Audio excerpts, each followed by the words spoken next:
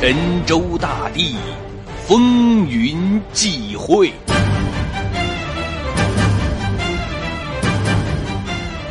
大将军为国效命，义无反顾，令人豪情万丈。若书生胸藏韬略，斗智斗勇，不逊百万雄兵。痴情女千里相随，自刎殉情，让人涕泪俱下，唏嘘不已。请听长篇小说。康熙大帝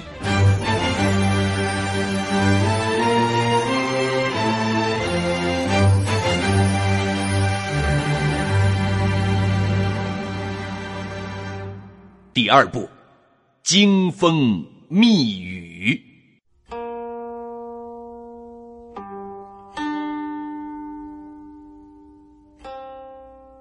过了半晌，胡公山放下吴次友的手臂。说道：“病在凑里，治倒是能治，一时半刻怕痊愈不了。那就请师兄劳神。这不消说，我们是老朋友了。”胡公山一边写方子，一边说道：“我只能照管几天，下雨的事还得你来办。不过……”什么呀？用的药都很平常，只是这病却要人照料，你办得来吗？有什么照料不来的？那好，胡公山说道，把药方子递给了青猴，快去抓药来。青猴接过来方子，一溜烟的跑了。这边胡公山起身说道。你看我这治法，你办得来吗？发内功，逼出他五脏中郁结的病气。说着，他双手五指并成爪形，在五次有脚心发动，沿着身体向上越来越低，直着胸口，双手按下，过一会儿才拿下来。吴自由脸上逐渐泛起了血色。胡公山深深的舒了一口气，云娘看着，立时明白了他的意思，脸腾的红到了耳朵根子，半晌才低声答道：“那也没什么。”胡公山古怪的笑了笑，呵呵，又是一个痴人。云妹，我是方外人，也是过来人，劝你治好他的病。就回终南山，如何？为什么？不为什么？这样对你好，对他也好。正说话间呢，青猴连蹦带跳的走进来，跌脚皱眉说道：“毛驴生兔子，真他妈怪事儿！师伯方才开的几味主药，跑遍了镇子，竟是一概没有。”胡公山的眉头一拧，眼中放出贼亮的光来。这都是极平常的药，哪个生药铺能没有？是不是药铺见病人多了，囤积居奇？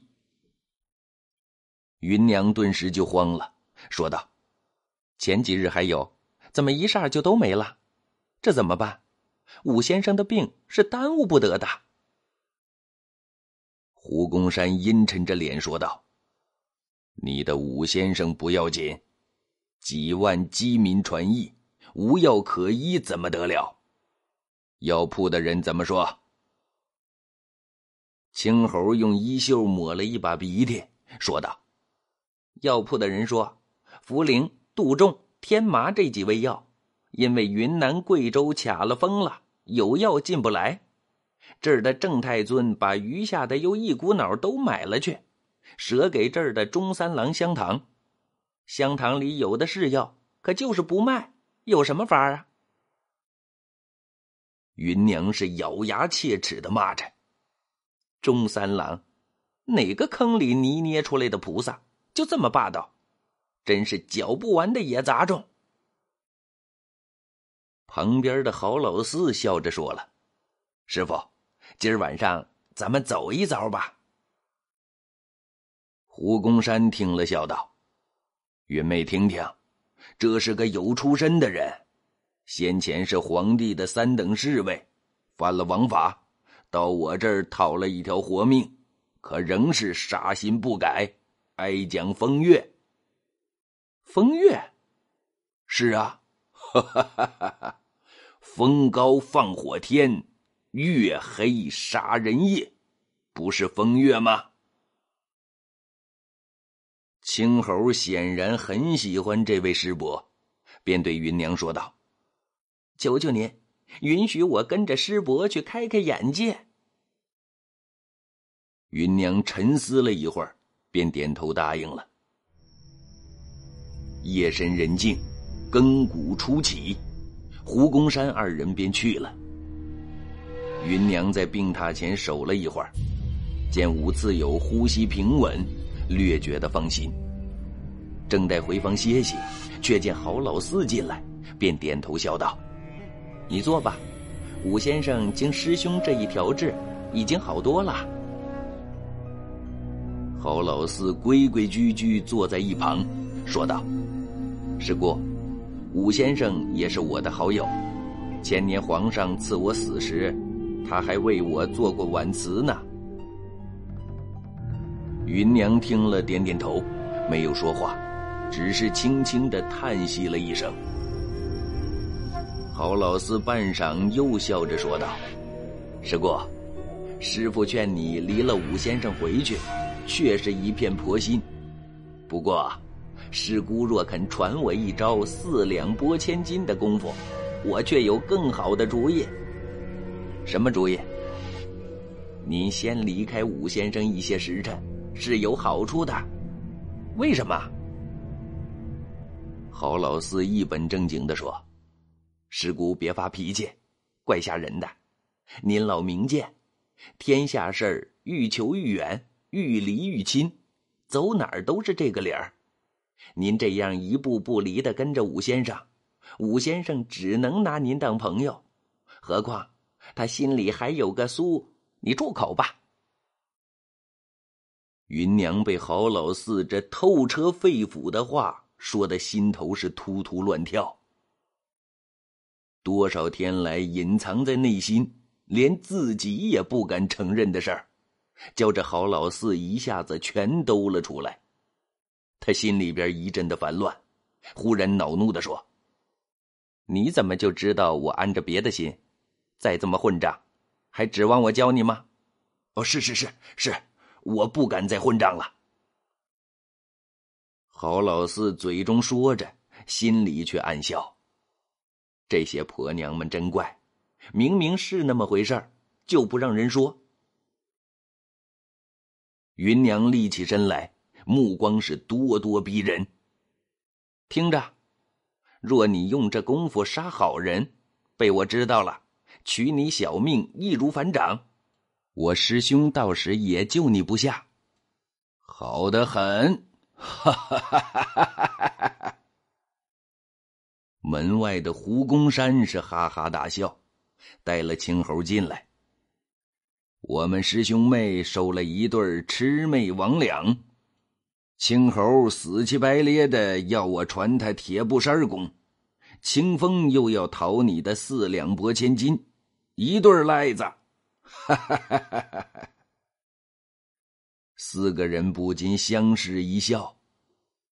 床上的武次友呻吟一声，翻了个身，嘴里边叫着：“水，水。”他已经三天水米不进了，今日一经调治，竟这么快就有了转机。芸娘见他苍白的面孔在灯光下显得雅秀超俗，想起郝老四方才那番话来，说不出心里是欢喜是难过，是感慨还是自伤。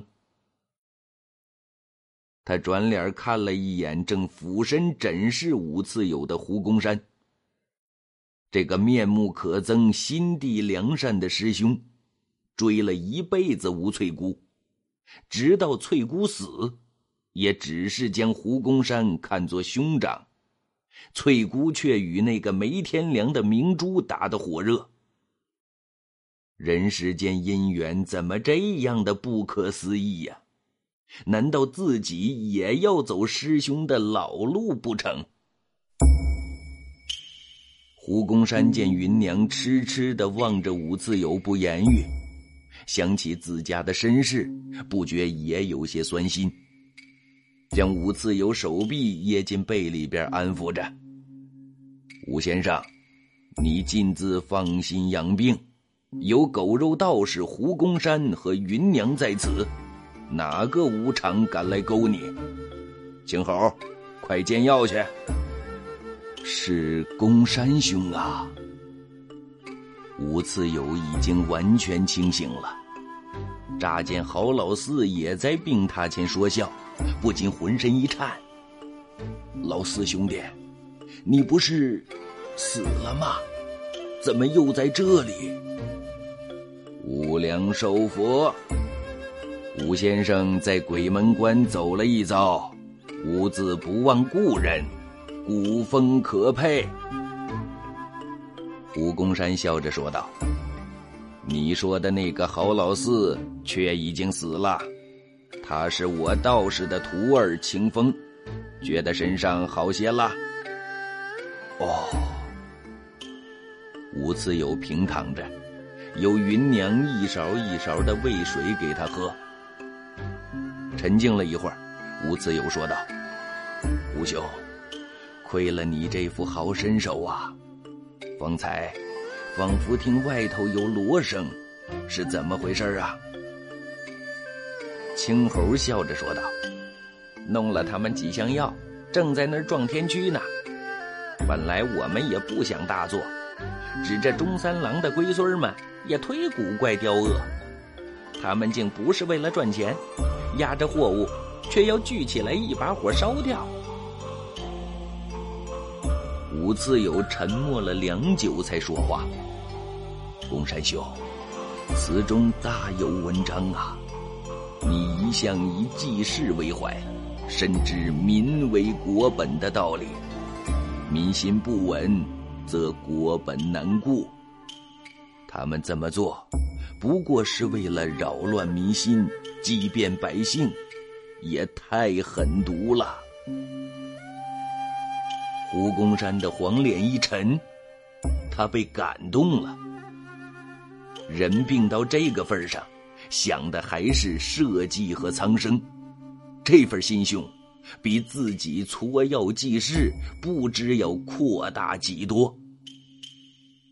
待了半晌，胡公山这才叹道：“吴先生啊，你的话老胡都明白，从前事已不堪再提。”你好好养病，老胡治好你再走。吴自友因内服良药，外用气功疗治，半个月以后，已经能行走如常。胡公山师徒便过来辞别，从此要与先生分手了。胡公山和武自友过去在北京的时候，并没有深交，倒是这次在江湖上偶然相遇，反而增进了相互间的了解。一想到将要各自东西，胡公山的心里不禁黯然，八字浓眉一蹙，说道：“虽说天各一方，但愿日后车力相逢，莫忘杯水之情啊！”武次友笑着说：“岂敢负心？不过你我是不会车力相逢的，顶多陌路邂逅。我虽然做不了达官贵人，但是胡兄的救命之恩，我是永志不忘的。”旁边的郝老四趁机插言道：“我们师徒是方外之人。”先生却是性情中人，既要报恩，清风却欢喜时的。那年见先生给吴六一写的字极好，何不给我们也写一张呢？胡公山说：“清风，别胡说，我们云游四海，平踪不定，写出来往哪儿挂呀？”吴自由挺身起来，笑道：“老四也是金口难开，既是故人，又这么有缘，我给你们画张画。”说着，来到桌前，提起笔来，向胡公山和郝老四稍稍瞥了一眼，便走龙游凤的涂抹了起来。很快就勾勒出两个道士形象，一个背插宝剑，腰悬葫芦；一个手持拂尘，两个眼珠子像在咕噜噜的转动。胡公山、李云娘、郝老四赶忙凑过来观看。青猴在一旁嚷道：“这画不好，不好，像两个贼似的，没个正形。”武次友驻笔笑道：“青猴虽伶俐，哪里知道坏官不如好贼？你且看我笔下这贼。”说着，竟在题款上行云流水般的大书三字：“贼，贼。”贼！众人正愕然间呢，武次友却又接着写道：“有影无形拿不住，只因偷得不死丹，却来人间济贫苦。”写完，他笑着问胡公山：“如何？”胡公山大笑说道：“妙哉！”此话此诗，老胡心领神受了。知我者，莫过武先生。他双手接了过来，珍重的卷起，交给了郝老四，躬身一揖，飘然而去。送别胡公山，云娘思量再三，也要辞行了。他倒不是因为听了郝老四黎泽清的劝，而是觉得终日里跟着一个始终爱着别人的人转悠，结局可悲，人言可畏。传了出去，江湖上人将怎么看自己？自己又何以自处？但是此时离开五次友，他又觉得不放心。几天来呀。云娘一直是郁郁寡欢，空闲时常常呆呆的坐着出神儿。青猴虽然知道一些实情，却不懂得他的苦衷，整天乐呵呵的跑前跑后，帮着云娘煎药送饭。四月初八是浴佛节，民间家家包饺子吃圆豆，圆豆就是青豆。云娘给武自友煎好了药，便赶到镇上买回三斤包好的生扁食，嘱咐青猴煮上，这才到武自友的房中来。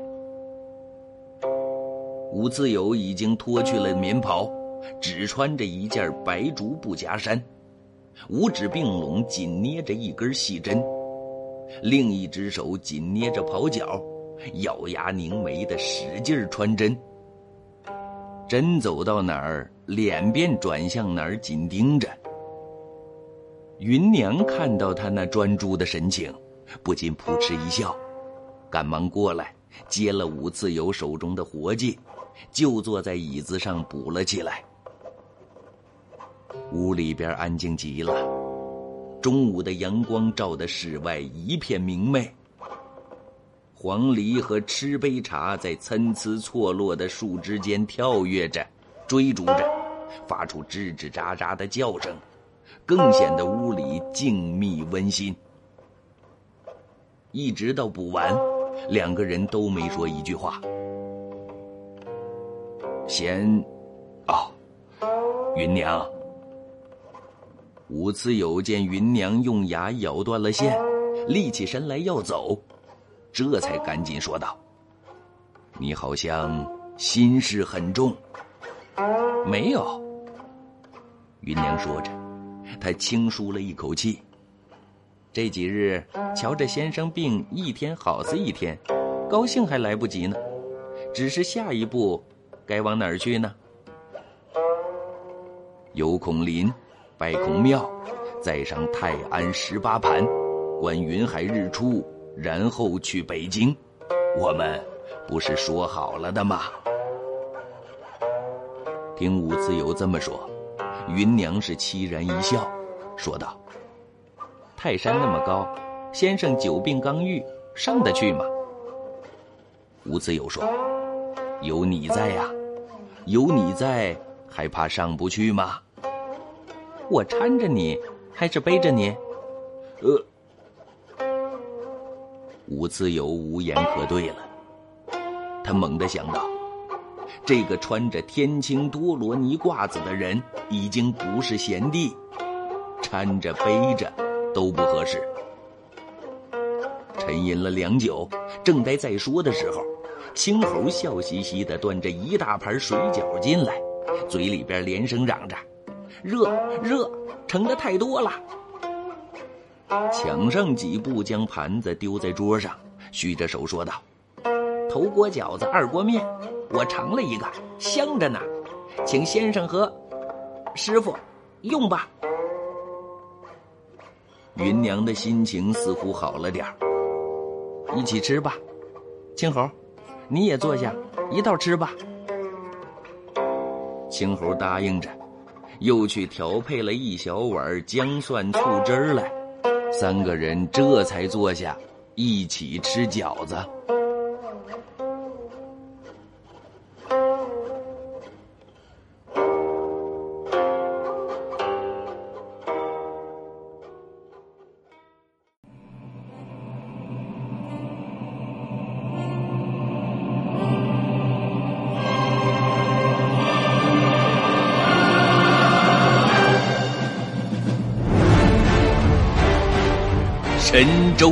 地，风云际会。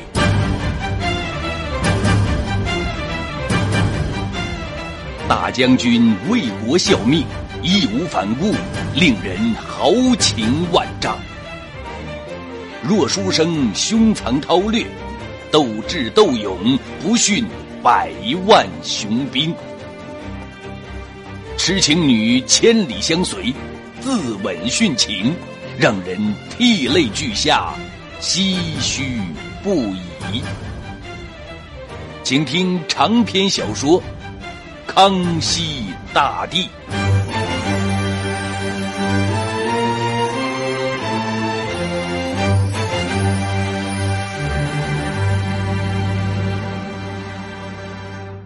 第二部《惊风密雨》。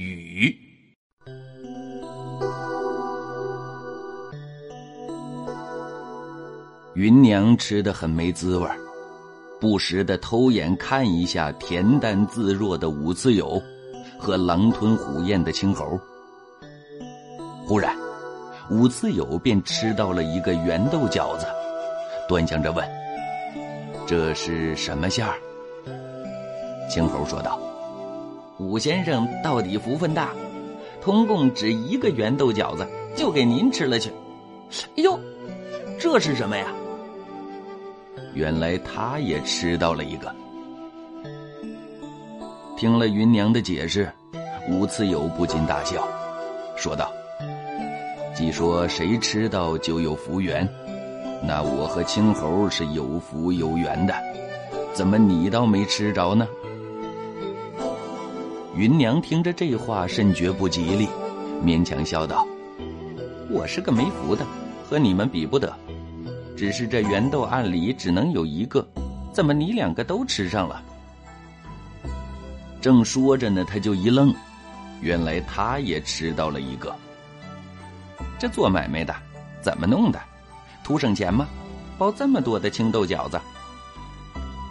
吴次友说道：“一是能多赚钱，二是图个大家都吉利，这也是他们的一片好心肠啊。”今日浴佛节，大家都吃圆豆，将来都成佛做菩萨，岂不比只一个人吃了有趣呀？哈哈哈哈哈！武次友说着是哈哈大笑。青猴认真的说道：“先生成佛，我师傅做菩萨，我可不行。我在菩萨莲座边上当个金童，也就称心如意了。武先生若不能成佛，将来做了大官，见了我们，可不要忘了今天吃饺子的事儿啊！”武次友搁下筷子问了：“什么见了你们？你们不和我一起走吗？”芸娘在一旁低声说了：“他说的是真的，送行饺子接风面，这是我们分手时的一点心意。为什么？你不到北京？”吴自由突然想起谋差事已经是不可能的了，不觉得神色黯然，过了半晌才叹息说道：“也罢，也只有这样。”聚散有定，离合有缘。虽说是合辙之妇，相濡以沫，不如散处江湖之中而相忘。但愿他日陌路相逢，我们不要擦肩而过。说到这儿，武次友觉得嗓子有些哽咽，强忍着没流下泪来。云娘见武自友如此的伤感，真想说一句“我不走了”，但她不能。她嗫嚅了一下，强笑道：“先生何必儿女情长？你我都还年轻，绿水长流不改，青山大路回转，怕不能再见。再见时，岂有擦肩而过之理？”当日中午，五次有芸娘和青猴共进了一餐别离饭，中间是千叮咛万嘱咐，说了许多保重的话。五次有决议，明日拜会兖州府，由官府送他回京。云娘和青猴才依依不舍的上了路。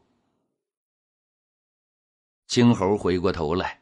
见武次友还在古道口垂杨柳下遥望，不解的问了：“姑姑，我实在不明白，好端端的，您怎么一定要走呢？”芸娘茫然的看着远处的碧水绿树，呆呆的说道：“你年纪小，长大了自然就知道了。咱们往什么地方去呀？先不要走远。”在这近处住些日子，你师伯他们大约也不会走远。吴自友当晚直到深夜都没入睡，芸娘和青猴的身影一直在眼前晃动。药吊子里的药是上午芸娘亲手煎好了的，只要温一温就能用。一会儿，他仿佛听到了外间山炉子呼哒呼哒的声音。一会儿，他又好像听到芸娘用汤勺调药、吹凉的声音。前几日还在和胡公山、芸娘几个人说笑论道，一下子便去得干干净净，只留下他孤身一人。不知什么时候，外头下起雨来了，眼前滴水落在青砖地上，滴答滴答响个不停。吴自有回顾往事，坎坷多变，瞻念前途，渺若云水，不觉两行清泪顺颊而下。看来我实在招了造化的忌讳，成了不祥之身。天下如此之大，却不容我五次有笑傲江湖，长伴梅花的啦。他翻来覆去的折腾了一夜，天将透晓时，这才朦胧睡去。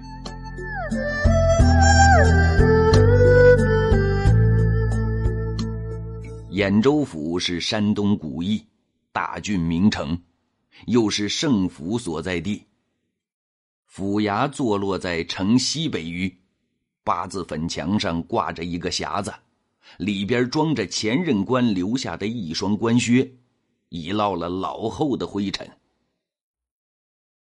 吴自友成了一顶青布凉轿，离府衙老远就下来了。他拖着沉重的脚步，慢慢来到衙前，见门口有一个书吏模样的人正在踱来踱去，便走上前来，投了自家名次，说道：“烦请禀报唐尊大人，就说扬州书生五次友拜访。”那书吏接了拜帖，一见“五次友”三个字，满脸立时堆下笑来，就地打了个签儿，说道：“这个事儿小的明白。前任太尊大人曾奉过县谕，到处寻访武先生下落，吩咐我们四处打听。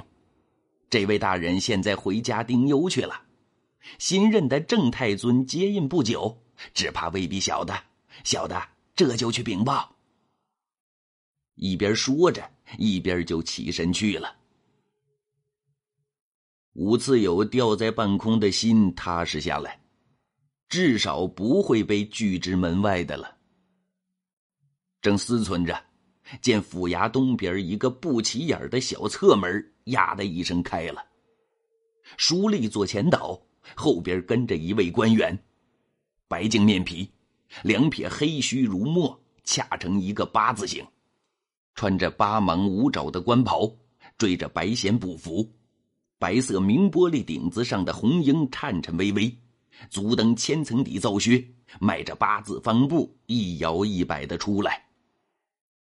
他身后还跟着一个人，像是师爷，身着黑缎褂子，头戴青缎瓜皮帽，一副大大的水晶墨镜戴在眼上，腰间系的槟榔荷包一晃一晃的。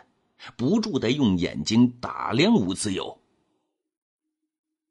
武次友一见是太守亲自出迎，忙抢前一步躬身施礼，说道：“晚生武次友，久慕太尊大名，路过贵志，特来拜望。”“哎呦，先生，这可不敢当。”那官员赶忙是拱手还礼。一把拉住武次友的手，学生郑春友早奉上仙指令专访武先生，原以为先生早已南去，不料贵旨竟亲临碧崖。啊，这位孔令培乃是圣意，学生到任后专请孔兄来衙指点帮忙。我们方才在后衙闲聊时，还提及先生来着。不想先生已经到了，真是幸会，幸会。武次友好像在什么地方听说过“郑春友”这三个字，只是一时再寻思不来。见郑春友满面春风，和蔼可亲，又十分的爽朗健谈，心下暗暗高兴。旁边的孔令培将手一拱，笑着说了。先生看上去似乎有些惊讶，后头的宴席尚未开宴，全当为先生洗尘了。郑春友笑着说：“正是啊，既来了，就在此小住几日。我这里琴棋书画俱全，一定会合先生胃口的。先生若不给面子，我可要霸王留客喽。”郑春友呵呵笑着。十分的殷勤亲热，将吴次友让进后堂。来来来，这边请，就在花厅西厢。武次友一脚踏进花厅，立刻便愣在当地，惊的是面白如纸，寸步难移。原来在安庆府迎风阁带人捉拿他的平西王驾前侍卫。打虎将黄埔宝珠正笑吟吟的坐在宴桌旁恭候着。黄埔宝珠见他进来，哈哈大笑着起身。正所谓山崩地裂无人见，峰回路转又相逢。哈哈哈哈哈！先生真是吉人天相，竟能大难不死。不想在此又与先生重逢。岂非三生有幸？西选官，不是。郑春友挑起了两道细眉，拖长了声音，笑着说道：“学生实在寒窗，三篇文章，两榜进士，殿试选在二甲十一名，虽不及先生尊贵，也是斯文中人。先生不必惊慌，请放怀入座，我们细谈。好吧。”到了这一步，吴自有心知已经入了铜王铁阵之中，心一横，径直做了首席，举杯一晃饮了。见席上的熊掌烤猪，便笑着说道：“这两样东西，烧得好是佳肴，烧不好一口也吃不得。没有一百两银子是办不来的。”西蒙诸位如此厚爱，不才可是要见仙了。说着，便夹起一块烤猪臀肉来，在嘴中品尝，笑着说：“久病思食，品此佳味，真是福气。”令裴先生，你祖宗说文韶三月不知肉味，恐怕是不缺的。痛快。黄埔宝柱看到武次有如此气概，感到有点自惭形秽，起身为武次有斟酒，笑道：“先生雅量高致，某在平西王麾下十余年，很少见到如此豁达之人。”孔令培在旁边笑着说：“宝柱将军到此已有三月，专等先生消息。”不向先生登门拜访。刚才武次友说的“你祖宗”三个字，他听了很不受用，便挖苦了一句回报。武次友又吃了一杯酒，苍白的脸上泛起了红色，将杯在桌上平平一推，冷笑道：“那是吴某时运不济，碰上了守株待兔之人。”郑春友呵呵笑着给武次友斟酒，怕不是的吧？天上哪有这样的大树？上叶干青云，下根通三泉，摇曳可以生风，呼吸可以治雨。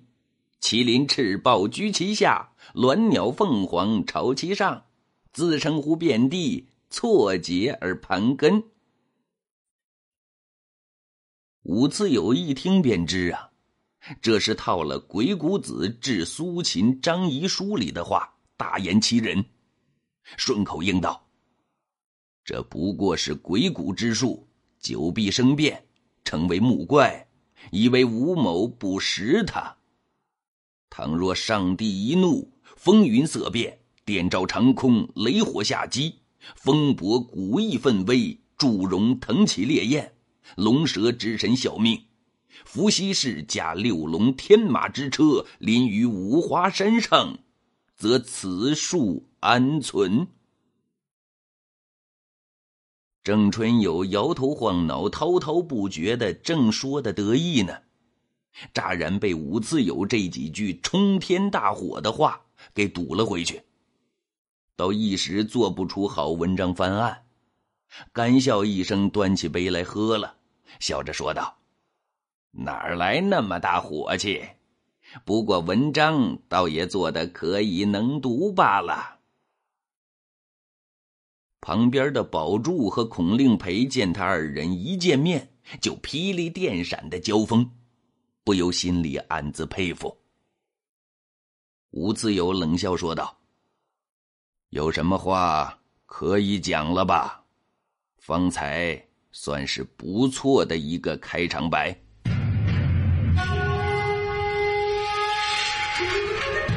此时他拿住了劲气，已完全不像是一个久病初愈的人了。哦，呃，是这样。宝柱从这两次跟武自友的接触中，不知怎的，对他有些折服，微微一笑说道：“其实先生已经知道，我们奉了王命也是没办法的事儿。最好还是请先生亲赴云南，见一见王爷。